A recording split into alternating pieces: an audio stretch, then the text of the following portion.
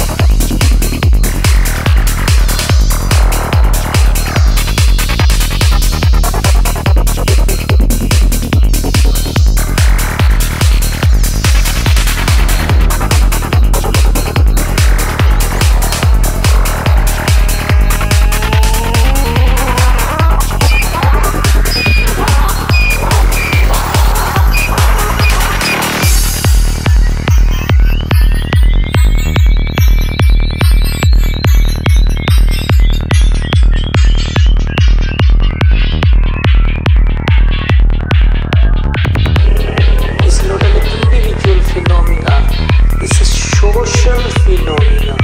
It links with the society. Without society, people cannot survive.